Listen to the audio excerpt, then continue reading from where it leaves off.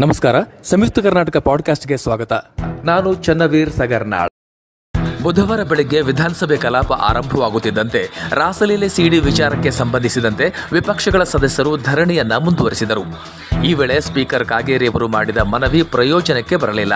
ವಿಪಕ್ಷ ನಾಯಕ ಸಿದ್ದರಾಮಯ್ಯನವರ ನೇತೃತ್ವದಲ್ಲಿ ಸದನದ ಬಾವಿಗಿಳಿದು ಕಾಂಗ್ರೆಸ್ನವರು ಧರಣಿ ಮುಂದುವರೆಸಿದ್ದರೆ ಇತ್ತ ಸರ್ಕಾರ ಧನ ವಿನಿಯೋಗ ವಿಧೇಯಕ ಸೇರಿದಂತೆ ಮತ್ತಿತರೆ ಮಸೂದೆಗಳಿಗೆ ಸದನದ ಅಂಗೀಕಾರ ಪಡೆಯಿತು.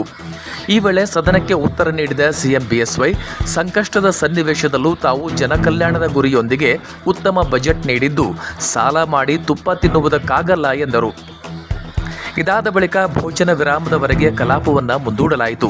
ಬಳಿಕ ಮತ್ತೆ ಸೇರಿದ ಕಲಾಪದಲ್ಲೂ ಕಾಂಗ್ರೆಸ್ನ ಗದ್ದಲ ಕೋಲಾಹಲದಿಂದಾಗಿ ವಿಧಾನಸಭೆ ಅಧಿವೇಶನವನ್ನು ಸ್ಪೀಕರ್ ವಿಶ್ವೇಶ್ವರ ಹೆಗಡೆ ಕಾಗೇರಿಯವರು ಅನಿರ್ದಿಷ್ಟ ಅವಧಿಗೆ ಮುಂದೂಡಿದರು. ಅತ್ತ ಮೇಲ್ಮನೆಯಲ್ಲೂ ರಮೇಶ್ ಜಾರಕಿಹೊಳಿ ಸಿಡಿ ಪ್ರತಿಧ್ವನಿಸಿತು. ಪ್ರತಿಪಕ್ಷಗಳ ಗದ್ದಲದ ನಡುವೆ ಸಭಾಪತಿ ಬಸವರಾಜ ಹೊರಟ್ಟಿಯವರು ಮೇಲ್ಮನೆ ಕಲಾಪವನ್ನು ಅನಿರ್ದಿಷ್ಟಾವಧಿಗೆ ಮುಂದೂಡಿದರು. ಇದೆಲ್ಲವನ್ನ ಗಮನಿಸಿದರೆ ಶಾಸನಸಭೆಯ ಪ್ರಧಾನ ಕರ್ತವ್ಯ ಶಾಸನ ರಚನೆ. ಶಾಸನ ರಚನೆಗಳನ್ನು ಹೊರತುಪಡಿಸಿ ಉಳಿದ ಎಲ್ಲ ರೀತಿಯ ಪ್ರಸ್ತಾಪಗಳಿಗೂ ಸದನದಲ್ಲಿ ಚರ್ಚೆಗೆ ಅವಕಾಶವಾಗಿ ಮತ್ತು ಮುಂಗಡ ಪತ್ರದ ಚರ್ಚೆ ಮುಗಿಯದಿದ್ದರೂ ಗದ್ದಲದ ನಡುವೆಯೇ ಅದಕ್ಕೆ ಉಭಯ ಸದನಗಳ ಸಮ್ಮತಿ ಪಡೆದುಕೊಂಡದ್ದು ನಿಜವಾದ ಅರ್ಥದಲ್ಲಿ ಜನಾದೇಶವೆಂಬುದು ಕಾಲಕಸವಾದಂತಾಗಿದೆ. ಅದ್ಸರಿ ಶಾಸನಸಭೆಯ ಮುಂಗಡ ಪತ್ರದ ಅಧಿವೇಶನದಲ್ಲಿ ರಾಸಲೀಲೆ ಸಿಡಿ ಪ್ರಕರಣವನ್ನಿಟ್ಟುಕೊಂಡು ಅಮೂಲ್ಯವಾದ ಕಲಾಪದ ಕಾಲಹರಣ ಮಾಡಿದ್ದು ಎಷ್ಟು ಸರಿ? ರಾಜ್ಯದ ಜ್ವಲಂತ ಸಮಸ್ಯೆಗಳನ್ನು ಬಿಟ್ಟು ಅದರಲ್ಲೂ ಈ ಬಾರಿಯ ಎರಡು ಪಾಯಿಂಟ್ ನಾಲ್ಕು ಏಳು ಲಕ್ಷ ಕೋಟಿ ಬಜೆಟ್ನಲ್ಲಿ ತೆಗೆದಿರಿಸಲಾದ ಅನುದಾನದ ಕುರಿತು ಗಂಭೀರ ಚರ್ಚೆ ನಡೆಯಬೇಕಿತ್ತು. ಅದಾಗಲಿಲ್ಲ. ಬರೀ ಧರಣಿ ಗದ್ದಲದ ನಡುವೆಯೇ ಸದನ ಮುಗಿದೇ ಹೋಯಿತು. ಇಂಥ ಕೆಟ್ಟ ಸಂಪ್ರದಾಯದಿಂದ ಜನತಂತ್ರ ಪದ್ಧತಿಯಲ್ಲಿ ಜನರ ವಿಶ್ವಾಸ ಕಳೆದುಕೊಳ್ಳಲು ಇದು ಪ್ರೇರಣೆ ನೀಡುತ್ತೆ ಎಂಬರ್ಥದಲ್ಲಿ ವಿವಿಧ ಗಣ್ಯರ ಅಭಿಪ್ರಾಯ ಆಧಾರಿತ ಸಂಯುಕ್ತ ಕರ್ನಾಟಕ ಪ್ರಕಟಿಸಿದ್ದ ವಿಶೇಷ ವರದಿಗೆ ಎಲ್ಲೆಡೆ ಮೆಚ್ಚುಗೆ ವ್ಯಕ್ತವಾಗಿದೆ. ಅಷ್ಟೇ ಯಾಕೆ, ಬುಧವಾರ ವಿಧಾನಸಭೆ ಕಲಾಪದಲ್ಲಿ ಸ್ವತಃ ಮುಖ್ಯಮಂತ್ರಿ ಯಡಿಯೂರಪ್ಪನವರೇ ಸಂಯುಕ್ತ ಕರ್ನಾಟಕ ಪತ್ರಿಕೆಯ ಮುಖಪುಟದ ವಿಶೇಷ ವರದಿಯನ್ನು ಉಲ್ಲೇಖಿಸಿ ವಿಪಕ್ಷಗಳ ಸದಸ್ಯರಿಗೆ ಚಾಟಿ ಬೀಸಿದರು. ಅತ್ತ ವಿಧಾನಸಭೆಯ ಉಭಯ ಸದನಗಳಲ್ಲಿ ರಾಸಲೀಲೆ ಸಿಡಿ ಬಗ್ಗೆ ನ್ಯಾಯಾಂಗ ತನಿಖೆಯಾಗಬೇಕು ಅಂತ ಒತ್ತಾಯಿಸಿ ಕಾಂಗ್ರೆಸ್ನವರು ಕಳೆದ ಎರಡು ದಿನಗಳಿಂದ ಪಟ್ಟು ಬಿಡದೆ ಧರಣಿ ಗದ್ದಲ ನಡೆಸುತ್ತಿದ್ದರೆ ಇತ್ತ ಸರ್ಕಾರದ ಸಚಿವರೊಬ್ಬರು ನೀಡಿದ ಹೇಳಿಕೆ ಉರಿಯುತ್ತಿರುವ ಬೆಂಕಿಗೆ ತುಪ್ಪ ಸುರಿದಂತಾಗಿದೆ. ಮಾತ್ರವಲ್ಲ, ರಾಸಲೀಲೆ ಪ್ರಕರಣ ಕುರಿತಾದ ಚರ್ಚೆ ಮತ್ತೊಂದು ದಿಕ್ಕಿನತ್ತ ಹೊರಳುವಂತೆ ಮಾಡಿದೆ. ಅಷ್ಟಕ್ಕೂ ಆ ಸಚಿವರು ಯಾರು, ಅವರು ಹೇಳಿದ್ದಾದರೂ ಏನು ಅಂತ ನೋಡುವ. ನಾನು ವಿಶೇಷವಾಗಿ ಸದನದಲ್ಲಿ ಕೂಡ ಹೇಳ್ಬೇಕು ಅಂತ ಇದ್ದೇನೆ. ಯಾರಿವತ್ತು ಬಹಳ ಮರ್ಯಾದಾ ಪುರುಷರು ಶ್ರೀರಾಮಚಂದ್ರರು ಅಂತ ಕಾಂಗ್ರೆಸ್ನ ನಾಯಕರುಗಳು, ಜೆ ಡಿ ಎಸ್ನ ನಾಯಕರುಗಳು ಯಾರೇ ವಿರೋಧ ಪಕ್ಷದಲ್ಲಿ ಮಾತಾಡ್ತಾ ಇದ್ದಾರೆ ಅವ್ರಿಗೆ ಒಂದು ಸವಾಲಾಗ್ತದೆ ಅವ್ರಿಗೊಂದು ಸವಾಲ್. ಇನ್ನೂರ ಇಪ್ಪತ್ತೈದು ಜನ ಕೂಡ latest page enquiry latest page enquiry ನಿಮ್ ನಿಮ್ ಜೀವನಗಳಲ್ಲಿ ಯಾರು ಅನೈತಿಕ ಸಂಬಂಧ ಇಟ್ಕೊಂಡಿಲ್ಲ ಅಂತ ಯಾರ್ಯಾರು ಪ್ರೂವ್ ಆಗ್ತದೋ ಆಗ್ತದೆ ನನ್ನೂ ಸೇರಿ. ಗೊತ್ತಾಗುತ್ತಲ್ಲ? ಯಾರ್ಯಾರ ಚರಿತ್ರೆ ಏನು ಅಂತ ಹೇಳಿ. ಯಾರ್ಯಾರು ಮುಖ್ಯಮಂತ್ರಿಗಳಾಗಿದ್ದಂತ ಸಂದರ್ಭದಲ್ಲಿ ಏನ್ ಮಾಡಿದ್ದು? ಅವ್ರ ಜೀವನದಲ್ಲಿ ಏನ್ ಮಾಡಿದ್ದು ವೈಯಕ್ತಿಕವಾಗಿ? ಎಲ್ಲವೂ ಕೂಡ ತನಿಖೆ ಆಗ್ಬಿಡ್ಲಿ ನೈತಿಕತೆ ಪ್ರಶ್ನೆ ತಾನೆ? ಮೌಲ್ಯಗಳ ಪ್ರಶ್ನೆ ತಾನೆ? ಎಲ್ರದ್ದು ಆಗಲಿ ಆಲ್ ಮಿನಿಸ್ಟರ್ಸ್ಗಾಗ್ಲಿ ಆಲ್ ಎಂ ಎಲ್ ಎಸ್ ಆಗಲಿ ವಿರೋಧ ಪಕ್ಷದ ಎಲ್ಲ ನಾಯಕರದ್ದು ಕೂಡ ತನಿಖೆ ನಡೆಯುತ್ತೆ ಯಾರಿಗೆ ಅನೈತಿಕ ಸಂಬಂಧ ಇದೆ ಯಾರಿಗೆ ಎಕ್ಸ್ಟ್ರಾ ಮೆರಿಟಲ್ ಅಫೇರ್ಸ್ ಇದೆ ಇದೆಲ್ಲ ತನಿಖೆ ಆಗ್ಬಿಟ್ಟು ಹೊರಹೊಂಬರು ಇನ್ನೂರ ಇಪ್ಪತ್ತೈದು ಜನದ ಬಗ್ಗೆ ಕೂಡ ಜನರು ತಿಳಿಲಿ ಬಿಟ್ಟು I am I am openly challenging all 225 should be investigated. let there be investigation ಇನ್ನೂರ ಇಪ್ಪತ್ನಾಲ್ಕು ಶಾಸಕರೆಲ್ಲರೂ ಸತ್ಯ ಹರಿಶ್ಚಂದ್ರರೇ ಅವರೆಲ್ಲ ಏಕಪತ್ನಿ ವ್ರತಸ್ಥರೇ. ಈ ಬಗ್ಗೆಯೂ ತನಿಖೆಯಾಗಲಿ. ಹೀಗಂತ ಹೇಳುವ ಮೂಲಕ ವಿವಾದವೊಂದನ್ನು ಮೈಮೇಲೆ ಎಳೆದುಕೊಂಡ ಸಚಿವ ಸುಧಾಕರ್ ಅವರ ಡ್ಯಾಮೇಜಿಂಗ್ ಸ್ಟೇಟ್ಮೆಂಟ್ ಬಗ್ಗೆ ಮಿಶ್ರ ಪ್ರತಿಕ್ರಿಯೆ ವ್ಯಕ್ತವಾಗಿದೆ. ಈ ಬಗ್ಗೆ ಪ್ರತಿಕ್ರಿಯಿಸಿದ ವಿಪಕ್ಷ ನಾಯಕ ಸಿದ್ದರಾಮಯ್ಯ, ಇನ್ನೂರ ಇಪ್ಪತ್ನಾಲ್ಕು ಶಾಸಕರಲ್ಲಿ ಮಹಿಳೆಯರು ಇದ್ದಾರೆ. ಇವರೆಲ್ಲರಿಗೂ ಅವಮಾನಿಸಿದಂತೆ ಯಾವೊಬ್ಬ ಶಾಸಕರ ಬಗ್ಗೆಯೂ ಯಾರೂ ಹಗುರವಾಗಿ ಮಾತನಾಡಬಾರದು. ಈ ವಿಚಾರದಲ್ಲಿ ಸಚಿವ ಸುಧಾಕರ್ ರಾಜೀನಾಮೆ ನೀಡಬೇಕು ಅಂತ ಒತ್ತಾಯಿಸಿದ್ದಾರೆ.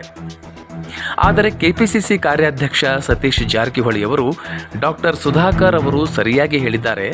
ಇದಕ್ಕೊಂದು ಕಮಿಟಿ ರಚನೆ ಮಾಡಿ ತನಿಖೆ ನಡೆಸಬೇಕು ಅಂದಿದ್ದಾರೆ. ಇನ್ನು ಜೆಡಿಎಸ್ನ ಅರಸೀಕೆರೆ ಶಾಸಕ ಶಿವಲಿಂಗೇಗೌಡ ಈ ಬಗ್ಗೆ ಮಾತನಾಡಿದ್ದು, ನಾನು ನೂರಕ್ಕೆ ನೂರು ಏಕಪತ್ನಿ ವ್ರತಸ್ಥ ಅಂತ ಘೋಷಿಸಿಕೊಂಡಿದ್ದಾರೆ.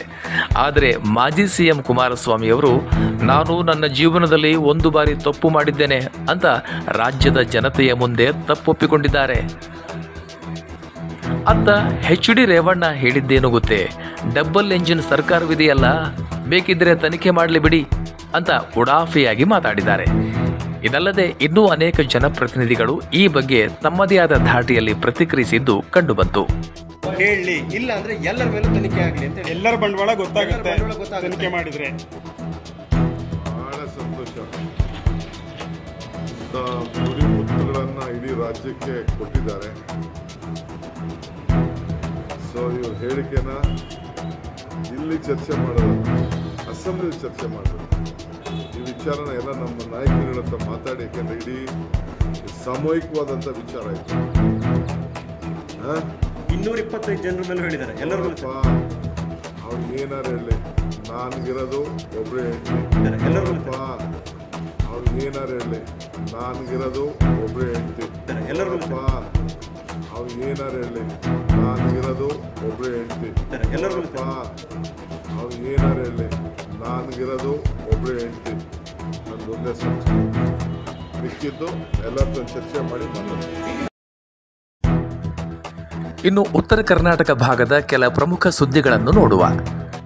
ಬೆಳಗಾವಿ ಲೋಕಸಭಾ ಉಪಚುನಾವಣೆಗೆ ಬಿಜೆಪಿ ಹೈಕಮಾಂಡ್ ಟಿಕೆಟ್ ನೀಡಿದ್ರೆ ಸ್ಪರ್ಧಿಸಲಿಕ್ಕೆ ಮಾನಸಿಕವಾಗಿ ಸಿದ್ಧ ಇದ್ದೇನೆ ಅಂತ ಸುರೇಶ್ ಅಂಗಡಿ ಅವರ ಕಿರಿಯ ಪುತ್ರಿ ಶ್ರದ್ಧಾ ಶೆಟ್ಟರ್ ತಿಳಿಸ್ಯಾರ. ನನ್ನ ಹೆಸರಂತ ಸ್ಪೆಸಿಫಿಕಲಿ ಇಲ್ಲ. ನಮ್ಮ ಕುಟುಂಬಕ್ಕೆ ಕೊಡೋ ಬಗ್ಗೆ ಚರ್ಚೆ ಆಗಿದೆ. ಸೊ ಆಮೇಲೆ ನಮ್ಮ ಕುಟುಂಬ ಅಲ್ಲದೆ ಮತ್ತೆ ಬೇರೆ ಕ್ಯಾಂಡಿಡೇಟ್ಸ್ ಬಗ್ಗೆನೂ ಚರ್ಚೆ ಆಗಿದೆ. ಸೊ ಅದೆಲ್ಲ ಲಿಸ್ಟ್ ಮಾಡಿ ಕಳಿಸಿದ್ದಾರೆ ಹೈಕಮಾಂಡ್. ಸೊ ಹೈಕಮಾಂಡ್ ಡಿಸಿಷನ್ ಏನು ತಗೋತೈತಿ ಅದಕ್ಕೆ ನಾವು ಬದ್ಧವಾಗಿರ್ತೀವಿ. ಹಾಂ ಅವ್ರ ಅವಕಾಶ ಮಾಡಿಕೊಟ್ರೆ ಮಾಡ್ತೀವಿ. ಬರ್ತ್ಡೇ ಪಾರ್ಟಿ ಒಳಗ ಗುಂಡು ಹೊಡೆಯೋದು ಅಂದ್ರ ಇತ್ತಿತ್ಲಾಗ ಕ್ರೇಜ್ ಅನ್ನೋ ಹಂಗಾಗೈತಿ.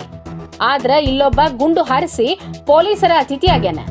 ಕಾಂಗ್ರೆಸ್ ಮುಖಂಡನ ಬರ್ತ್ಡೇ ಪಾರ್ಟಿ ಒಳಗ ಗಾಳ್ಯಾಗ ಗುಂಡು ಹಾರಿಸಿದ ಪ್ರಕರಣದಾಗ ಧಾರವಾಡ ಗ್ರಾಮೀಣ ಪೊಲೀಸರು ಇಬ್ಬರನ್ನ ವಶಕ್ಕೆ ಪಡೆದಾರ.